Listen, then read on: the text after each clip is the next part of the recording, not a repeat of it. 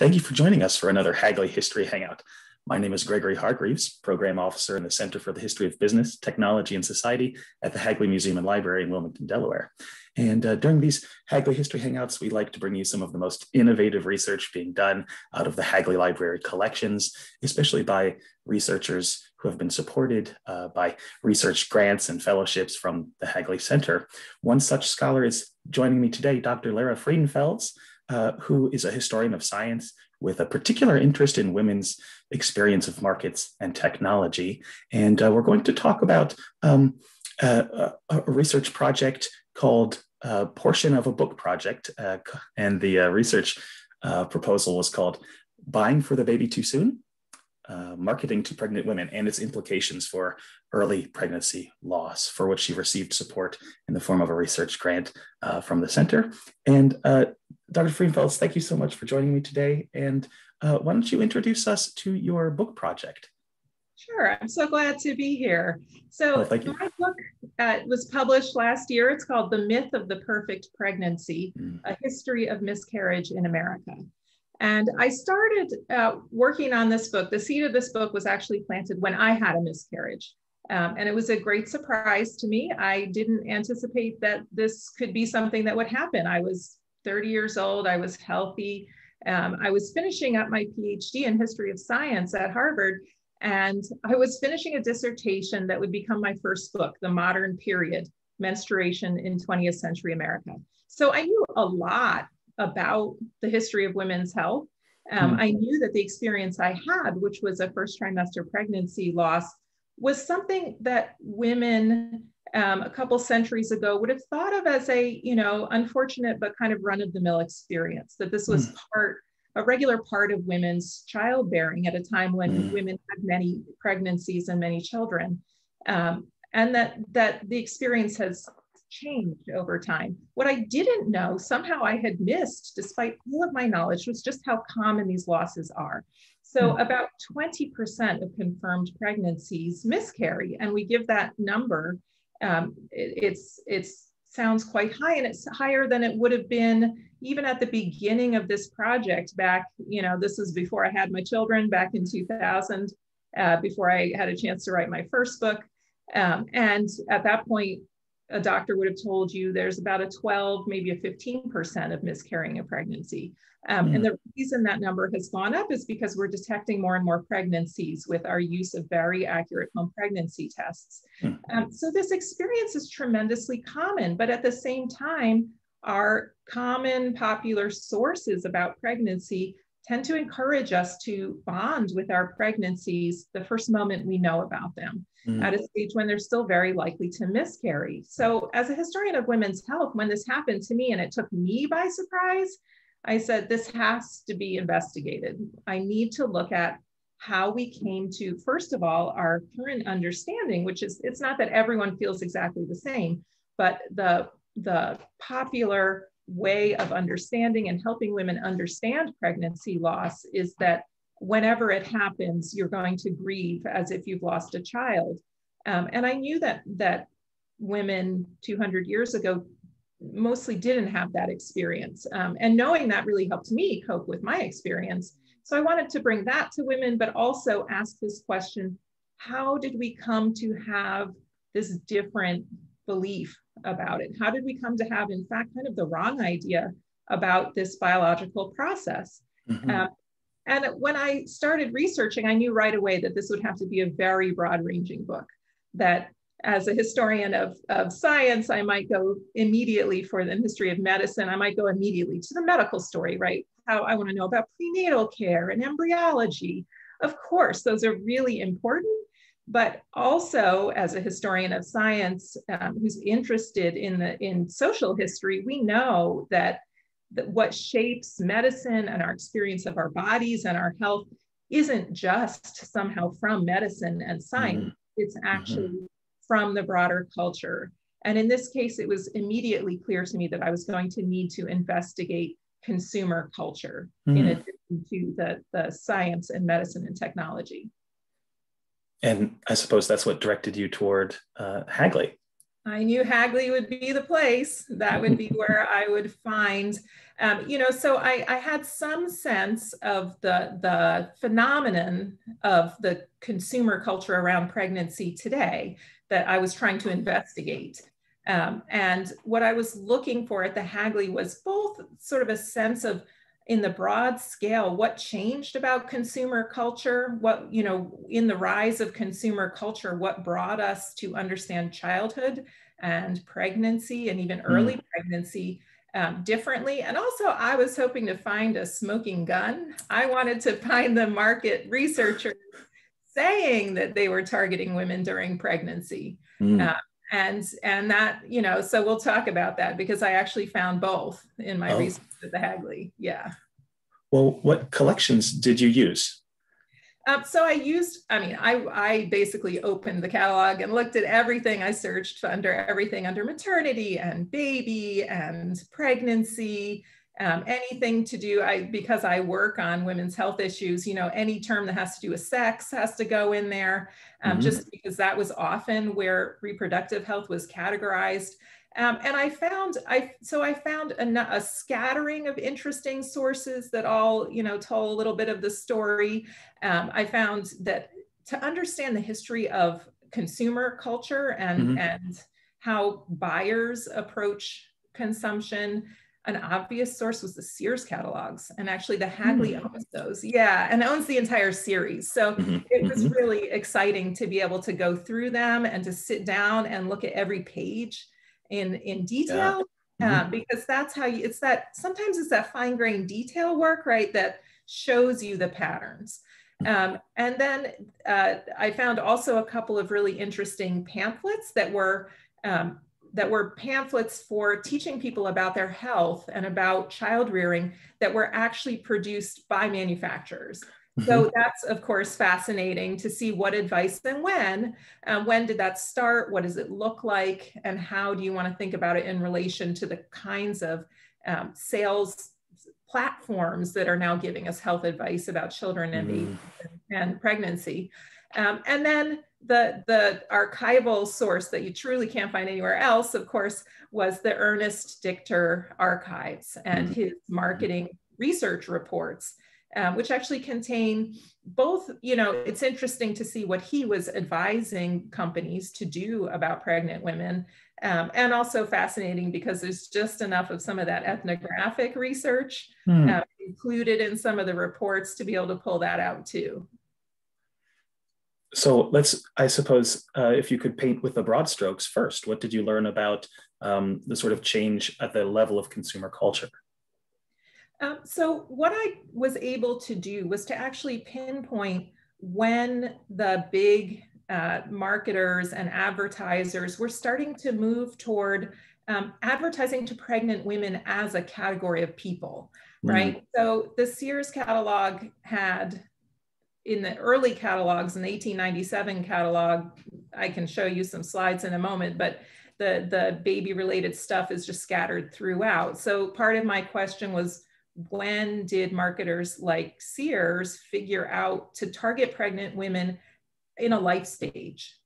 These days we would call it life stage marketing. So mm. don't assume that that women should run around to every different store to find their baby goods. You would put them all in one place. If you were for example running the right start catalog you would have all your stuff right there. If, if you know prospective mother wants to find out what all she needs to buy she can find it all there together. So i was able to use the sears catalogs to trace out a little bit when that happened and how it happened. Mm. Um, and then with the with the Dichter um, archive, I was able to find him actually noting when you know when he realized you need to target pregnant women and preferably before they have their first child um, mm. reading that, you know, so if you've been a parent yourself, you say, Oh, I see. Yes, I felt targeted, but now I see. and it wasn't last year that marketers figured out that they should do that. So those, you know, those were the big insights. And, and what time period are, are we talking about here for these uh, events, yeah. these processes? So that that's the 1960s that the, mm. the um, archives start showing reports that show this targeting of pregnant women. And I think that's probably about right um, in terms of when there was self-conscious understanding that, mm. that this was a, a, valuable market and one that was urgent to get into early. Um, mm. And that's part of, of course, the broader story in my book is why do marketers aggressively target women the moment they get a positive home pregnancy test, you know, when a pregnancy is still very insecure. Mm-hmm. Uh, and what are the what's motivating them and what is their understanding that leads them to to be that pushy mm-hmm. and and what did you find out what what why does this make business sense well it makes business sense it turns out because uh, women tend to be very brand loyal uh, to mm-hmm. these kinds of products. And this was so this was not shocking to me at all because I had done research on the history of menstruation and mm-hmm. I worked in the Kotex archives and they found that, yeah, yeah, fascinating archive. The company actually at the time maintained an archive and was able oh, to let me go to the history factory to go spend a week uh, digging through it, which was fantastic. Uh, but what I found was that they realized pretty early that that girls tended to, first of all, girls tended to use whatever product their mother gave them. But mm. if you could get in there before the mother and hand them a product, chances are they would stick with the first one. Hmm. Um, and that was sort of seemed to be true in my interviews. You know, my interviews seemed to confirm that until the younger generations were more interested actually in the pattern that we see uh, in Dichter's reports in what was advertised to them on TV. And they started to be a hmm. little more like skeptical of mom. Maybe mom doesn't know the new ways. Maybe mom is actually your least good source for this. Maybe the commercial will give you a better idea what modern people hmm. do. Um, so Dichter figured this out. Actually, the, the most enlightening report that I looked at was his report for the Playtex Nurser, um, which was in 1962. So the Playtex mm-hmm. Nurser in 1962 was this fancy new bottle. It was made of plastic and it had plastic liners. And we know in 1962, plastic was, you know, the modern way to be a mom was to use plastic. And so it had these plastic disposable liners that were supposed to keep the bottle sanitary, right? So think about it in a time when you didn't have dishwashers to hmm. sterilize baby bottles, you had to boil them. Mm. And that is a real pain. And if you're taking care of an infant, the last thing you need is that chore so you could see why it was appealing. Um, it turns out it didn't work as well as advertised. That's one of the things that Dichter found, um, and that women were frustrated when they accidentally mm. got their fingers all over the this what was supposed to be the part that didn't get dirty, and then they were worried they were getting because germs were an enormous concern in this time period too, mm. as Americans were starting to really understand the implication of germs and and how they cause sickness in a in a sort of broad popular way. I mean, similarly to today, people wanted things that were antibacterial, and there was a sense, and of course, your infant, your newborn, you want to especially protect. So people were excited about this new bottle, um, and and they so Playtex was already marketing it at the point that Dichter joined on, mm-hmm. um, and they said to him, you know, what should we do? How can we market it better? Um, they had already produced this commercial a TV commercial that was nationwide. And amazingly, what Dichter found was that more than 60% of his respondents had seen it and could talk about it. Hmm. And that is something, right? I mean, that is where Dichter, you can see in the report that he's kind of saying, whoa, yep, at least for some kinds of products, advertisements are really powerful. And I think it's this, you know, this phenomenon that I saw in my menstruation research, which was women saying, mm, yeah, maybe, maybe I can learn from the TV better than from my hmm. mom, that maybe the new products that promise to be better and new um, in this very forward looking modern appeal you know american culture especially in the 60s we're excited to be modern and forward looking and find the newest thing and that it would be better make our lives hmm. better um, and this happens with baby things just the same way that it happens, you know, with lots of other things. And Dichter really latched onto this. I'll read you a little quote from because it's, it's, so good um, from this report. So um, he said to, to, to his audience uh, at Playtex, the very special psychological climate which envelops a household expecting or raising a baby together with the profound psychological changes and developments which occur among both men and women who are expecting or rearing a baby, create an almost unobstructed access for baby product advertising. Within this sensitive and differentiated atmosphere, the Playtex Nurser ad has created intense impact and product interest. So Dichter, you know, Playtex probably guessed this. I'm sure their sales did well if that's what Dichter found, but he was able to actually do these focus groups um, to discuss this with women and find that in fact they could all talk about it or 60 plus percent could which i think is I mean, you know it was very striking to me. I was surprised that the commercials had had quite that impact until i thought through it and you know honestly thought about my own what you know what did i do? I was the first my husband and i were the eldest in our families first to have kids we were far from home, um, as, as has been the case for a large portion of Americans for more than 100 years now. Mm-hmm. mm-hmm. Raising our, fa- our children far from our natal families. Um, and it happened that we didn't have any close friends who had had children. So we we relied on these sources, you know, and we thought we were savvy. So we went to, to uh, Consumer Reports, perhaps, to tell us but we were relying much more on this these public sources rather mm-hmm. than what Dichter had anticipated initially, I think, which was that for this kind of thing, it's so intimate. Um, it comes with so many traditions, right? Family comes with so many traditions. You would think people would want to go to their mothers and their sisters first, but it turns out, even maybe if they did go there first, these commercials had tremendous impact. So, part of the interesting story here is that realizing that commercials reach women during pregnancy and he could see pregnancy was a special time to reach them. Of mm. course, when you're talking about a baby bottle, right? This is the first time you're going to have purchased a baby bottle. Um, and probably whatever you start with is whatever you will continue with.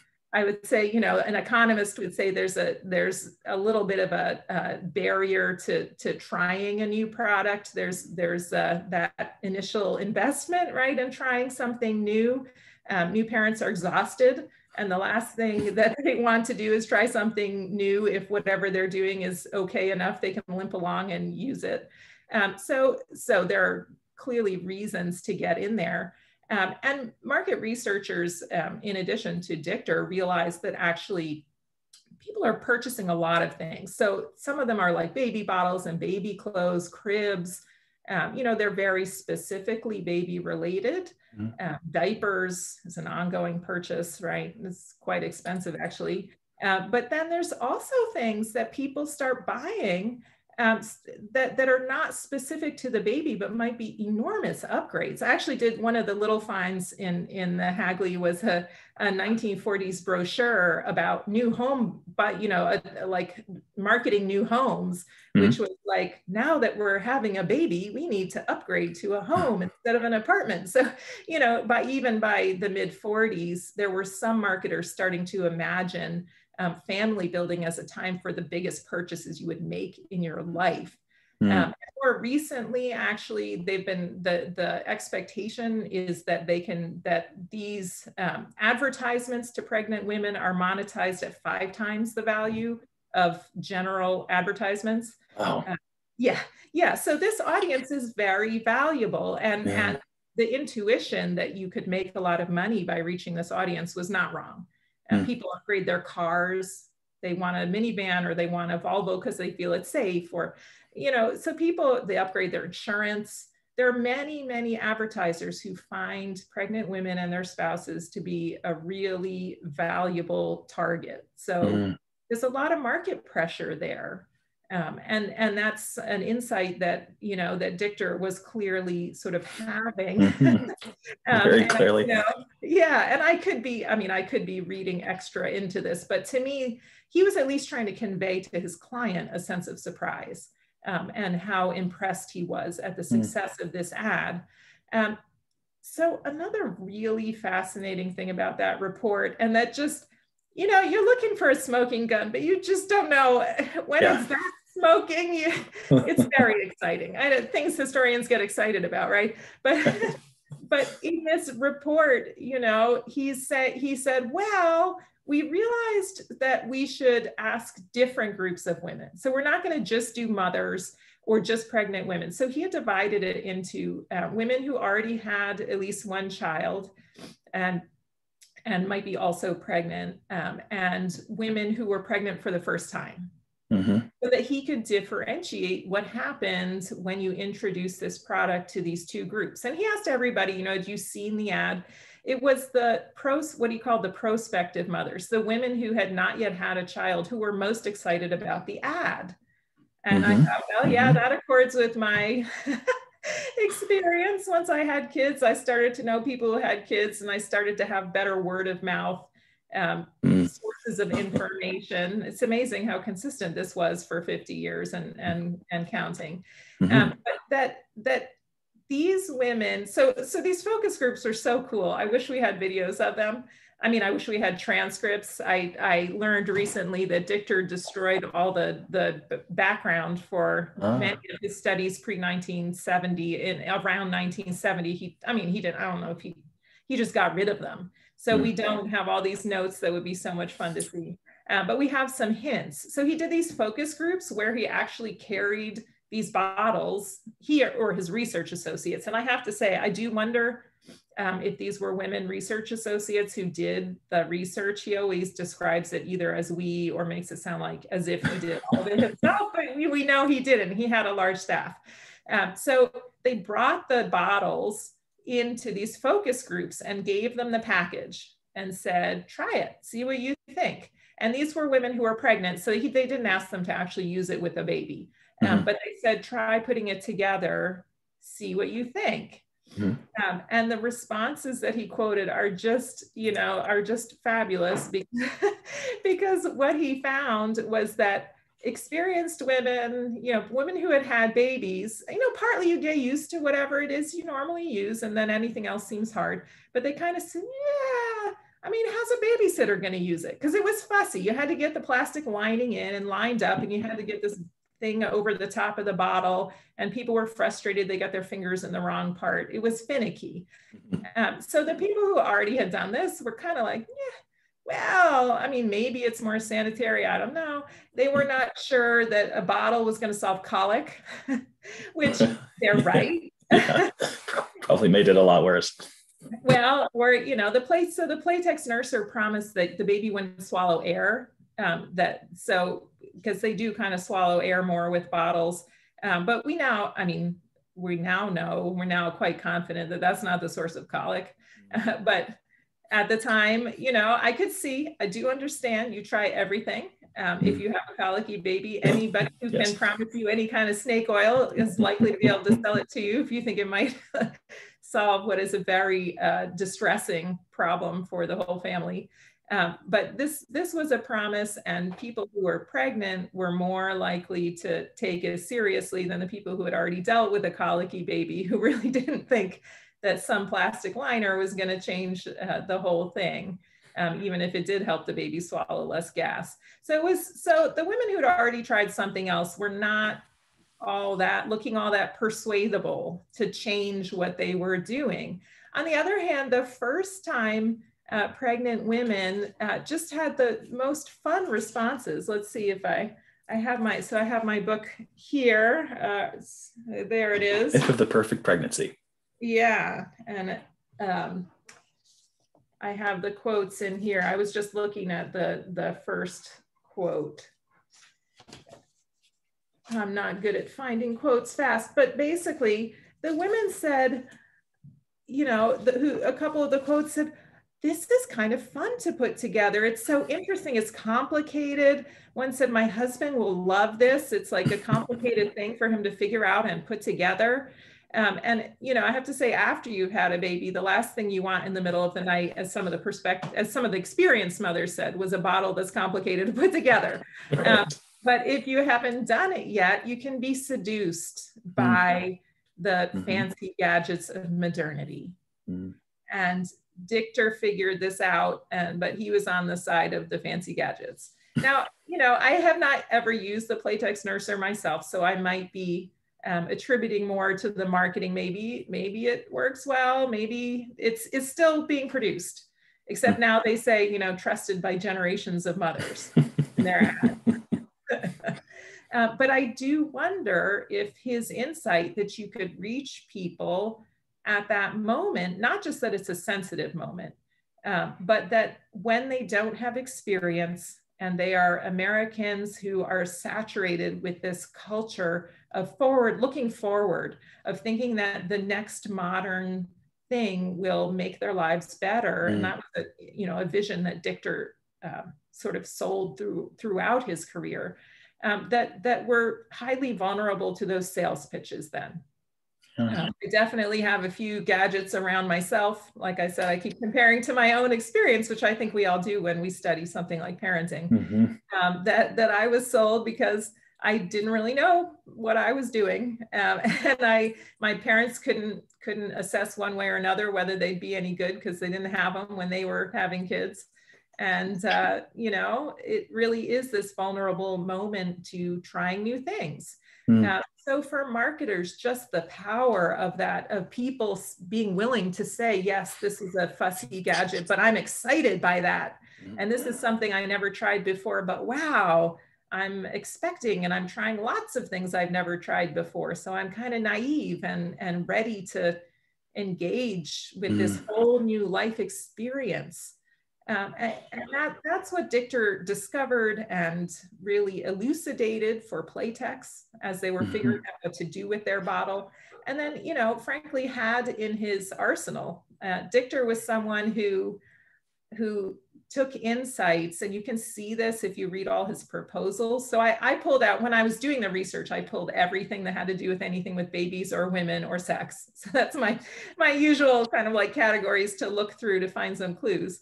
Um, and, and what I found was that it, he gets an insight from one report and then he applies it to another. So he, hmm. he was very synthetic, um, very smart guy, would, you know, think about, well, what did I learn from the baby food study that I did before that I could apply to Playtex nursers? with similar, different? Um, hmm. So I am very confident that once he discovered this for Playtex, that it continued um, to inform how he thought about advising companies from there on in. Mm-hmm. what would be the implication for the individual prospective mother who has perhaps bought into uh, these promises um, made by advertisers and marketers um, and then experiences pregnancy loss? Yeah, well, I mean, so what happens now so what's interesting is that at the time Dichter was doing this, what I'm talking about is sort of a ground, laying a groundwork for mm. what has become the pattern now.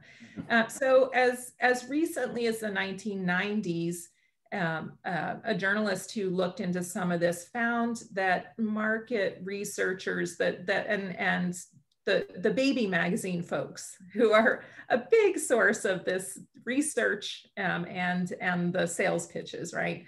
um, that, that they believed that you could start reaching women in the second trimester. And literally, you know, there's an interview where one of the American Baby magazine uh, editors says, well, you know, in the first trimester, the baby's just not real yet. It doesn't seem real to people yet.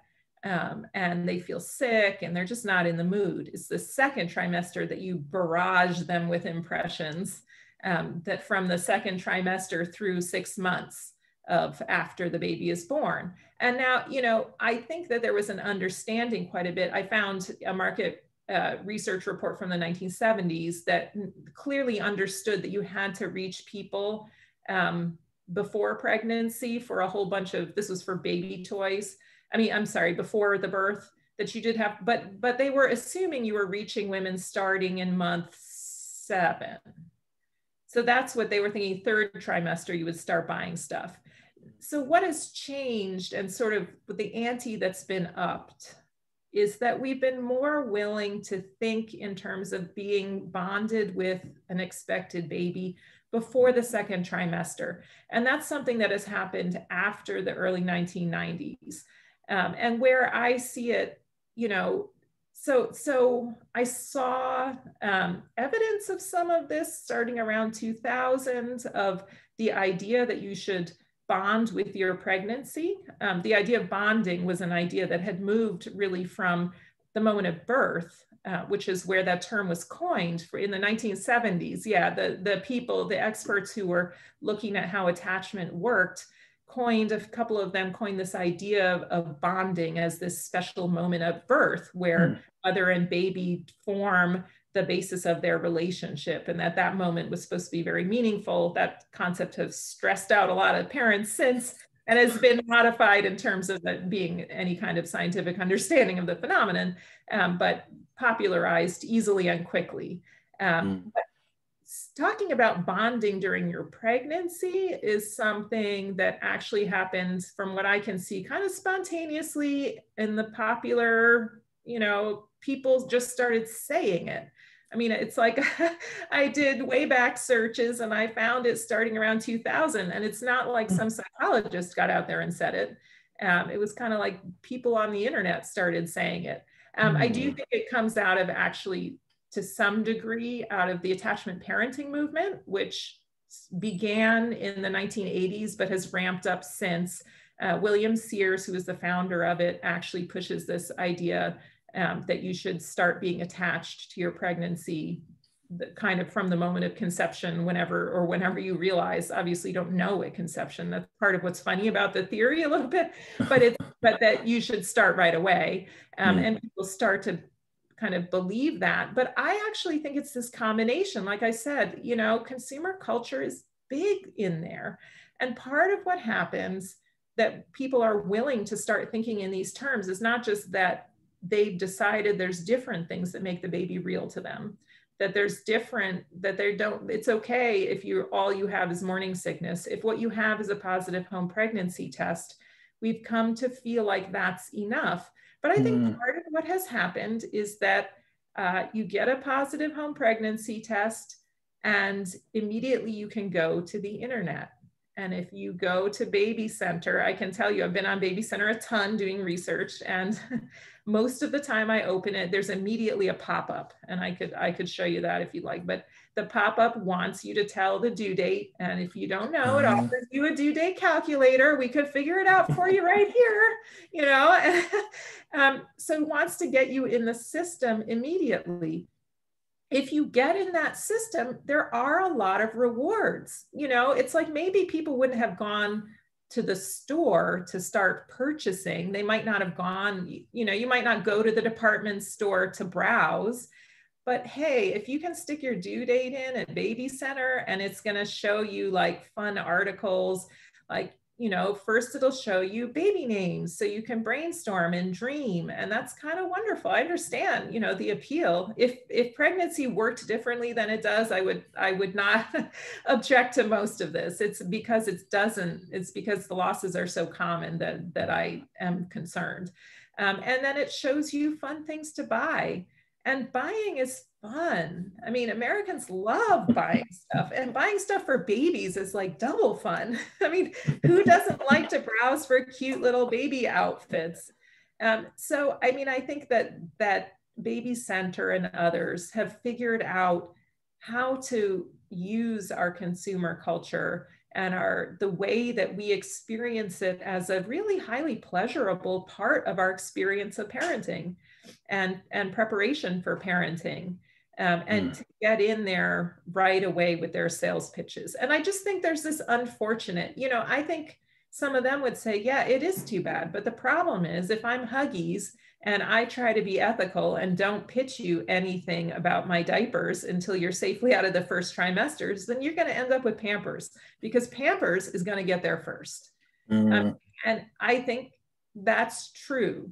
So how to have a more ethical business approach, I think would have to be, you know, a larger scale agreement or a, or a widespread decision to shame that big outlets like Baby Center for uh, sending you those ads right away.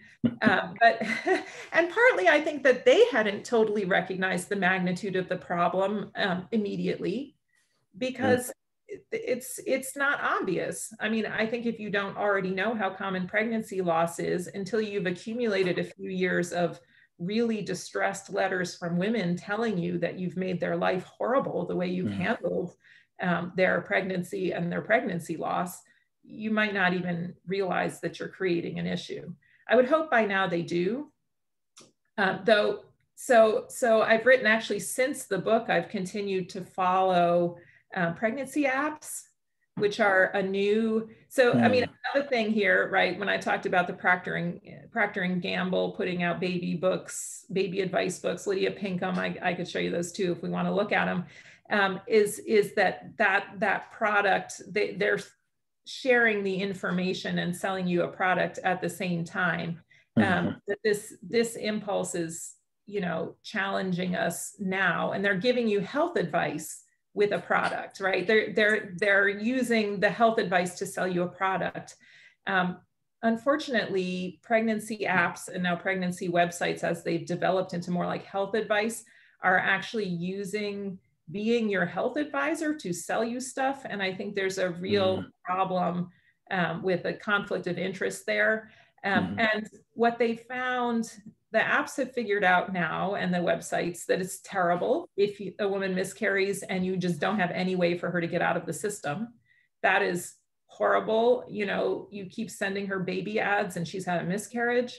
Um, so they've solved that, but now what happens is they they sort of divert you into a whole nother set of content. So they bring you more content, and the content is about grieving and loss and coming back and trying again. Um, and I guess I don't think that advertising supported content is the best place uh, to, to be giving us that information, partly because the incentives are, right, to keep you with them, keep you mm-hmm. close, keep your, your journey, your fertility journey with us. We'd like to know that you're trying again We'd like to send you articles. And by the way, we'd like to know the moment you're pregnant again. Um, and I think that it's not obvious unless you dig in and do some of this research that there's actually money to be made on people's grief.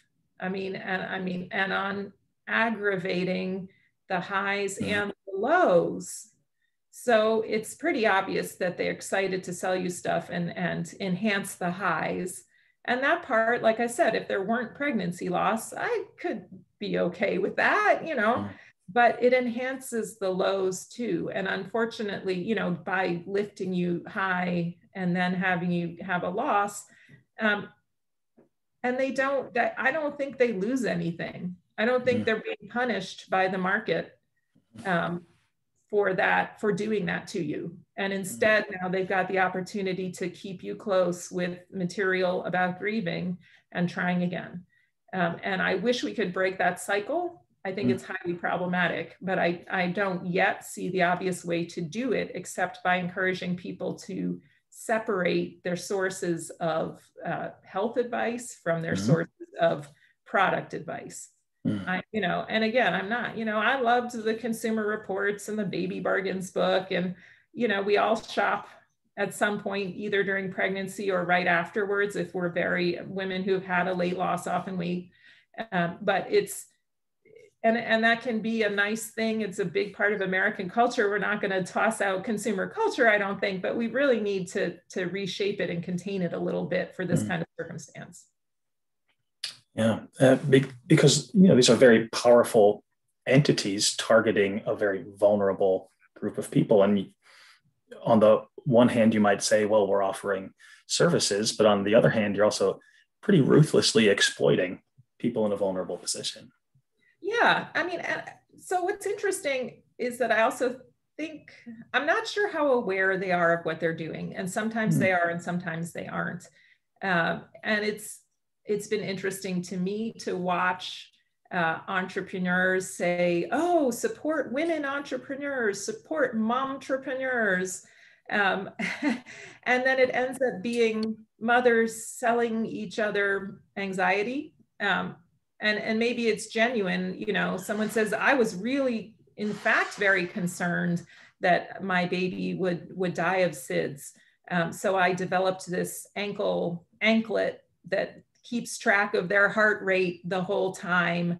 And if there's ever any, you know, any dip, you get an alert at your bedside and you can run to the baby. This is a real product. And, and at least one thing I saw about it was that it was kind of like one concerned parent to another, you know, right. I have a product to help ease your anxiety, but products that are to ease anxiety often produce the anxiety they ease, and, mm-hmm. and know mm-hmm. that. Um, so I think it's it's some of it probably is uh, cynical, but some of it really is, you know, everyone winding each other up and participating mm. in a market around pregnancy and babies. And it is a vulnerable audience, but not vulnerable, you know. I mean, look, the people we're largely talking about today here are middle class, um, can afford to buy stuff, can afford mm. to shop a lot, mm. uh, probably highly educated. So, not vulnerable in the sense of, you know, there are many vulnerable people in our culture, in our society um, and and who need various like who deserve much more protection and respect than they get and this is it's like i hate to call them too vulnerable but just we don't I, I think we're not so aware of the reality of the circumstance and and who's pitching to us and how um, mm-hmm. and it just looks very appealing so until you put it all together and kind of you know as i have uh, looked at who's selling you what I mean, I think it's very enlightening. Like I would encourage anyone to go to go look at the material produced for the marketers. Mm-hmm. So any of these websites, they'll they'll have the the retail facing. They'll tell you as a pregnant woman, you know, how you might engage with this website. Go go look at what they have for marketers and then see how you feel about it. like for advertisers, do you still mm-hmm. feel good about it after you see what they've promised advertisers? Mm. Uh, they've promised them, you know, your data and your attention. Uh, maybe have promised them that that there's going to be bloggers who do product features at the women who like those those bloggers that are attached to the website. You mm. might end up feeling a little more skeptical of the whole package. Mm-hmm. I think that's great advice for uh, mm. for the consumer as well as uh, the researcher. Because um, yeah. Uh, my next question would be what advice you might have for people doing social research of perhaps even family related research in a business archive oh i mean so i think i think that people like me tend to find the joy is in the fact that that you have to hunt a little bit I mean, so it's always a matter of finding all those keywords and throwing them in mm-hmm. and mm-hmm. following the leads and seeing what you what you happen to come up with um, and we get very excited about small crumbs. I mean, so and i think that's good. I think that's so to, you know it's a, it's so it's an interesting thing. I, I see people this is a bigger philosophical question in history. People talk about oh digital archives we could save everything. We should save everything. And historians get very excited. We need to save all the things. Um, but to me, you know, when I think about part of what charms me it, as a researcher is mm-hmm. actually the search for things that were not intended to be saved. um, people, people who do research on reproductive and, and sexual topics tend to find, you know, our, a lot of our materials are ephemera. Mm-hmm. Um, they were not mm-hmm. intended to be uh, for an audience that was going to archive them. And that's why they're so great is when you happen to find them, when they just got stashed in someone's attic and never thrown away. That's when they're really the coolest. Mm-hmm. so, I mean, so I think it's a matter of just knowing that that's what you do um, and taking that identity as you're the kind of historian, in, at least in this kind of an archive, who's going to treat it as, hey, you know, broad scope, throw in all the search terms, follow any that if some, if a search term leads you to something interesting, then look at what else is in that search term. Um, and just kind of like follow the leads and enjoy mm-hmm. whatever small things you can find because it's it is more about that hunting process um, and this is true you know lots of women's intimate history has this problem or ha- i mean mm-hmm. i don't like i said not necessarily a problem it's a it's a challenge. It's a special kind of history. So looking through letters, if you want to find evidence of pregnancy and miscarriage, it's rarely um, indexed in women's mm. letters. So even if you have hmm. collections of women's letters, um, and it's rarely indexed when it's mentioned in men's letters. So mm. the women who have done, mostly women researchers who have done this research, have done it by just literally reading many, many, many letters and having kind colleagues who, you know, send forward them when they happen to see them, mm-hmm. make it be known that this is what you're doing. Um, so it just, the research is like reading reading an archive for what's not intended to be particularly highlighted there um, and i think you just have to enjoy that um, mm-hmm. but also i have to say it's great that you give grants for people to come spend some time because mm-hmm. it takes time this is research I mean, some research takes time because you have voluminous archives. So if you have boxes and boxes and boxes of, uh, you know, from a company and somebody wants to do a history involving that company, clearly they need months to do it. Um, but I really appreciated that Hagley was willing to give me a whole week uh, full time to spend in the archive. And I did. I tell you, I, I kept the archivist there until they said, no, we have to close the doors um, because we have to hunt. We need the time to read, to just read all of what Dichter said about a lot of things, a lot of reports that had nothing um, particularly that went into the book. So, you know, what you see in the book is a few crumbs, but I needed to do to look through many more of his reports to understand where they were coming from. And also, like I said, to ha- happen to find that right one. So I didn't know that somehow the Playtex bottle was going to illuminate the mm. history mm. of miscarriage.